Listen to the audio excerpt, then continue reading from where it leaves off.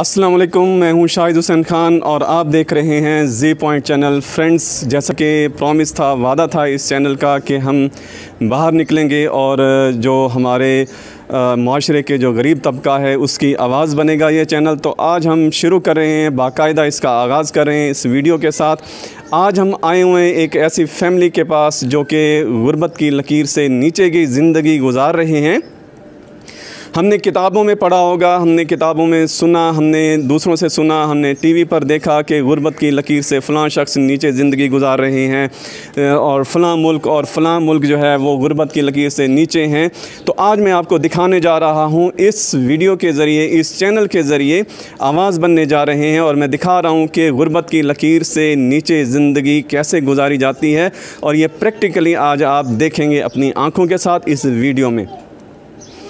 आगे चलने से पहले आपसे रिक्वेस्ट करूँगा, इस वीडियो को लाइक कर दें और चैनल सब्सक्राइब नहीं किया तो चैनल को सब्सक्राइब करें और मेरी रिक्वेस्ट होगी कि इस वीडियो को आखिर तक देखें ताकि आप इस जो इंटरव्यू मैं ले रहा हूँ इस फैमिली से, वो आप एक एक लफ्ज़ सुन सकें। हो सक, हो सकता है कि आपके दिल में या कोई मुखैर हजरात जो सुन सकते हैं, इस वीडियो को देख रहे होंगे, उनके दिल में नरमी आ जाए और वो इनकी मदद को आन पहुँचें। तो ये मेरे साथ हैं मैं इनसे बात शुरू करता हूँ। जी क्या नाम है आपका? रब नवाज़ है। इनका नाम रब नवाज़ है और ये सराइकी में इंट्रोडक्शन करवा रहे हैं और सराइकी में ही पूरा इंटरव्यू देंगे। इनको उर्दू स्पीक करनी नहीं आती। बहरहाल मैं तमाम चीज़ें बताता जाऊँगा। रब नवाज़ भाई हैं हमारे साथ और इस वक्त हम इनके घर में आए हुए हैं और हम इनके घर का भी आपको व्यू देंगे इनके कमरों को भी दिखाएँगे। कैसे ये ज़िंदगी बसर कर रहे हैं ये आप खुद अंदाज़ा लगाइएगा और उसके बाद आप कमेंट्स में ये मुझे ज़रूर बताइएगा। एक बात और मैं ऐड करता चलूँ कि इस वीडियो के किसी भी वक्त आपको इनके कॉन्टैक्ट नंबर्स दिए जाएँगे। उन कॉन्टैक्ट नंबर पर आप डायरेक्टली इनसे रबता कर सकते हैं और इनसे आप पूछ कर सकते हैं और अगर आप इनकी मदद करना चाहें तो वो ज़रूर कर सकते हैं। जी रब नवाज़ साहब, कैसे आपकी लाइफ कैसे गुजरी है? ज़िंदगी कैसे गुजरी है आपकी? ज़िंदगी औखी गुजरती पई सी, सब कुछ आप अच्छा। सारे मकान देखो सारे किरदे पेन डली तले हमारी पेन पट्टे पेन मकान साढ़े। अच्छा। और साढ़े को खर्चे दे पैसे का नहीं होते बस कहीं जो मिलते कहीं जो नहीं मिलते चार अठाने का जी मुख्तसरन ये कि मैंने इनसे हाल हवाल पूछा तो कैसे गुजर रही है ज़िंदगी? तो ये कह रहे हैं कि बहुत मुश्किल हालात हैं और इस वक्त रोज़ी और रोज़ी रोटी और बहुत मुश्किल हो चुका है इन पर। इनका मकान का ये ज़िक्र कर रहे हैं और वाकई मैं मकान देख रहा हूँ इनका। बिल्कुल खस्ता हाल हालत है और आप अंदाज़ा ख़ुद लगा सकेंगे हम दिखाएँगे जब। तो आप कैसे आपका गुजारा कैसे हो रहा है? आपके कोई इनकम के ज़राए हैं इस वक्त? क्या कर रहे हैं आप? बस कहीं को पैसे घेने हम दे चार अठने मिल गए तो मैं गुजारा की तुम भी कैसे क्या करूँगा अच्छा। वक्त मतलब ये कह रहे हैं कि हमें जो है वो पैसे मिलते हैं कोई दे देता है तर्स करके कोई मोहल्ले में से कभी कभार आ जाता है। और अदरवाइज़ कोई ऐसी रेगुलर इनकी इनकम नहीं है कि ये उसका घर अपना चला सकें। आपके कितने बच्चे हैं? बच्चे मेरे नौ हैं नौ बच्चे हैं इनके। आज के दौर में वीवर्स नाजरीन आप अंदाज़ा लगा सकते हैं एक घर में नौ अफराद रहते हों छोटे बच्चों के अलावा। तो आप अंदाज़ा लगा सकते हैं कि कितनी गुज़र बसर कितना मुश्किल होगा। तो वो जो नौ बच्चे हैं उनके अपने ज़राए हैं कमाने के या वो भी आपके सर पर हैं? रस का है किराया है वो अपनी कमाने खाने दे। आज पाँच दिन वो अपनी कमाने नशा दे रहे आज पाँच और क्या करूँ और कितना गुजारा। इनके बेटे का एक जो बड़े बेटे हैं उनका रिक्शा है और वो किराए पर किराए पर पर किराए पर वो बता रहे हैं और किराए पर लेते हैं और आप जानते हैं कि रिक्शे की क्या कमाई होती है और उसका किराया भी भरना होता है और उसके अखराज भी होते हैं और पूरी फैमिली को अपने वालदेन को और अपने दूसरे बहन भाइयों को चलाना ये आप बेहतर अंदाज में सोच सकते हैं। रिक्शे की कमाई कहते हैं कि नहीं है आजकल आपके सामने ही हालात ये जो करोना वायरस आया इसका पता है आपको ये कोरोना वायरस में आपके साथ क्या बीती है? आप बताएँगे क्योंकि वैसे ही हालात मुश्किल हैं लेकिन कोरोना की वजह से तो एक आम शख्स भी बड़ा डिस्टर्ब हुआ है। आपके ऊपर क्या हालात गुजरे हैं कोरोना की वजह से? तो कई बुख मर गए सारे बच्चे जनाब असां बस वधे मंगदे पिंदे वधे रह गया कोरोना कोई ॾेंदा ही कोई ना ॾेंदा ही क्या करें कोई जी कोरोना के दरमियान में ही इनके घर में दो डेथ्स हुई हैं छोटे बच्चों की जो कि वायरस की वजह से तो नहीं हुई हैं लेकिन वैसे ही जैसे कह सकते हैं कि गुर्बत जो है ये सबसे बड़ी सबसे बड़ा वायरस है नाजरीन गुर्बत जो है ये सबसे बड़ा वायरस है और हम देख रहे हैं मेरे पास अल्फाज ख़त्म हो रहे हैं मैं डिलीवर नहीं कर पा रहा इस वीडियो के ज़रिए कि मैं आपको बता सकूँ लेकिन मेरी वीडियो के एंड में कोशिश होगी कि मैं आपको इनके कमरों का व्यू दिखाऊँ।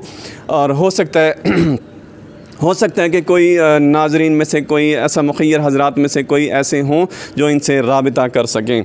तो ये जो रिक्शा चलाते हैं, रिक्शा आप कहते हैं उसकी कोई कमाई नहीं है तो फिर कैसे आप, पूरा कैसे कर रहे हैं वैसे? अल्लाह पाक कहीं न कर देंदे, कहीं को घेने होते कहीं कुछ कर रहे होते उधारे चाहे होते कहीं को बल्टी तो से बदे भी आए कोई को मिल गए तब मिल गए ना मिले तो खैर हो बस। सही। तो देखें जी गवर्नमेंट की तरफ़ से भी हालाँकि कोरोना वायरस के दरमियान में जो एहसास प्रोग्राम था, उनके उसके लिए जो पैसे हैं, वो भी ये जो हजरात हैं, जो कि इसके लिए डिज़र्व करते हैं, यहाँ तक नहीं पहुँचे हैं। लेकिन आप देख सकते हैं कि इनके जो हालात हैं, वो बहुत टफ़ हैं और गवर्नमेंट को चाहिए कि कुछ ऐसा लायामल तैयार करे कि वो जो हकदार हैं, उन तक इनका हक पहुँचना चाहिए। मैं, हमने सुना है, बहुत से लोगों को जो मिलते हैं, पैसे मिले हैं, वो डिज़र्व नहीं करते थे। लेकिन इस तरह के जो लोग हैं, ये ना मान सकते हैं, ना ये किसी को कह सकते हैं। और इनकी दुख भरी ये कहानी है कि ये इस वक्त इस हालत में पहुँचे हमने मोहल्ले के और हमसायों से भी पूछगछ की है तो वो भी इन्हीं के बारे में इशारा करते हैं कि ये घर वाकई ये फैमिली जो है वाकई मुश्किल का शिकार है। तो मज़ीद हम आगे बात करेंगे और मैं आपको घर का व्यू भी दिखाऊँगा लेकिन थोड़ी सी कुछ और बात कर लेते हैं। तो आप कुछ काम करते थे या कुछ काम जानते हैं या आप कोई काम नहीं कर सकते? पहले पहले पहले मजदूरी करना नाम हो मैं गुजरन दी हरनी पई है ना जी। तो मैं वो कराया परेशान मैं कमावन को खड़ गया अच्छा हाँ। ये कह रहे हैं जी हरनी कोई है बीमारी है दर्द होता है ये हाँ, ये ऑपरेशन हुआ है तो उस पर भी जो जमा पूंजी थी वो लग चुकी है और ऑफ़ कैमरा भी हमने इनकी जो अहलियाँ हैं उनसे भी हमने पूछा है तो वो उनका भी ऑपरेशन हुआ है और उनकी भी अ, यानी बीमार हैं, वो भी और उनका भी इलाज हुआ है। तो नाजरीन, आप ख़ुद अंदाज़ा लगाएँ कि इस गुरबत की हालत में जहाँ नौ से दस अफराद हों और छोटे बच्चे अलावा हों और वहाँ पर बीमारियाँ जो हैं वो भी अपना घर कर चुकी हों तो वहाँ पर क्या हालात होंगे? और मज़ीद हम आगे बात करने से पहले हम आपको इस घर का व्यू दिखाते हैं और मैं इजाज़त चाहूँगा उसके बाद। लेकिन एक और रिक्वेस्ट है मेरी मुखैर हजरात से ख़ास कर मैं बार बार इसलिए कह रहा हूँ कि ये वाकई डिज़र्व करें मेरी आँखें खुद देख रही हैं। कैमरे की आँख शायद आपको ये मनाजिर उस उस तरीके से दुखी जो है, जो कि मैं देख रहा हूँ, उस तरह से ना दिखा सकें। जी। जी, नाजरीन, ये देख रहे हैं कि इस घर की एक फैमिली जो है, वो इस कमरे में रह रही है और आप देख सकते हैं गुर्बत की हालत। तो ये एक ईंटों से बनाया हुआ एक कमरा है। इसकी बाहर से आप लोकेशन देख सकते हैं। और इसी तरह ये एक घर है, ये पूरा मैं दिखा रहा हूँ। ये देख सकते हैं आप इनकी हालत हालत ज़ार ये हम, ये देख सकते हैं। ये साथ हमसायों की दीवार है और ये हम कमरे का अंदर वाला व्यू दिखा रहे हैं इस वक्त। देख सकते हैं ये। और ये टी आयरन और गार्डर्स इस वक्त खस्ता हालत में और गिरने के करीब हैं। आप ये देख सकते हैं, ये दरारें पड़ी हुई हैं। इंतहाई इंतहाई गुर्बत आप देख सकते हैं। ये एक और कमरे में चलते हैं। यहाँ पर देखें आप, ये ये देखें। इस कमरे की भी वही हालत है, बल्कि उससे ज़्यादा ये है डैमेज है कि ये जो टी आयरन हैं, वो इस वक्त बहुत ज़्यादा झुकी हुई हैं नीचे की तरफ़। और किसी भी वक्त जो है ये किसी भी नुकसान जो है ना इससे हो सकता है, खुदा न खास्ता। ये आप देख सकते हैं हालात। और इसके अलावा मेरे पास कुछ अल्फाज नहीं है। बताने के लिए आप खुद देख सकते हैं। जंग आलूद ये टी आयरन गार्डर्स और आप देख सकते हैं कि कितना नुकसान हो सकता है ऐसे अल्लाह ना करे। ये एक और हम कमरे में जा रहे हैं इस वक्त। ये देख सकते हैं। टूट फूट का शिकार। इसमें भी सेम वही पोजीशन है। और, ये देखें आप फैमिलीज़ हैं। ये बैरूनी व्यू है सेहन का आप देख सकते हैं। ये पानी का इंतज़ाम, जैसे एक आर्जी निज़ाम होता है, उस तरह का बना हुआ है। किस तरह लाइफ गुजर रही है, ये सब कुछ आपके सामने ही है। और आप अंदाज़ा लगा सकते हैं कि क्या ज़िंदगी गुजर रही है और किस तरह के हालात हैं। से दस लोग एक ही घर में रहते हैं और एक ही वॉशरूम और सस्ता हालत में। तो ये आपके सामने व्यू आ रहे हैं। इस वक्त आप देख सकते हैं, अंदाज़ा लगा सकते हैं। ये एक हम और कमरे में जा रहे हैं, जहाँ पर इस फैमिली के जो सरबरा हैं, वालदेन हैं, वो रहते हैं। और ये भी एक छोटा सा कमरा और इसकी हालत जो है वो आपके सामने है। इसकी खस्ता हालत आपके सामने स्क्रीन पर आप देख सकते हैं, मुलायजा फरमा सकते हैं।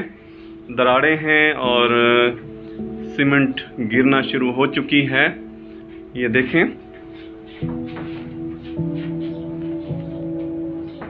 आप इसकी गुर्बत का अंदाज़ा लगा सकते हैं और देखें कि आज की महँगाई के दौर में जहाँ बिजली, गैस और दूसरे अखराज जो कि लाजमी होते हैं, वो भी हैं और बच्चों को भी पालना और पूरी फैमिली को चलाना, ये कोई इनसे पूछ सकता है। मेरे पास अल्फाज नहीं हैं। ये चाचा रब नवाज़ जो है इनसे जो अभी बात हुई है इनकी अहलियाँ बैठी हुई हैं इनसे बात करते हैं। जी आप कुछ कह रही थी आपको फालिज हुआ है? अच्छा। फालिज हुआ है जी इनके घर में फौतकी हुई थी बेटे का सदमा लिया है इन्होंने और भी गुर्बत से सबसे बड़ा जो है ना वो सदमा गुर्बत का है। तो अगर पैसे होते तो शायद इलाज भी होता। आप अब ये बैठी हैं चार पाई पर। तो आप देख सकते हैं कि गुर्बत की हालत में ये फालिज का इलाज कराने से भी कासिर हैं। तो ये एक फैमिली जो है जिनसे आज आपका इंटरव्यू हुआ है आप इंट्रोडक्शन हुआ है उम्मीद है कि आप लोगों को इसका ज़रूर एहसास हुआ होगा और मुझे इस, इस वीडियो बनाते हुए बहुत दुख हुआ है और अल्फाज नहीं है। वीवर्स नाजरीन हम इस वीडियो से इजाज़त चाहते हैं। अगली ही वीडियो में इंशाल्लाह एक और फैमिली के साथ मुलाकात करवाएँगे। तब तक के लिए इजाज़त दीजिए। इस वीडियो के नीचे नंबर्स आपको दे दिए जाएँगे। इस फैमिली से आप रबता कर सकते हैं। जब चाहें, जिस वक्त चाहें, आप इनसे बात करेंगे।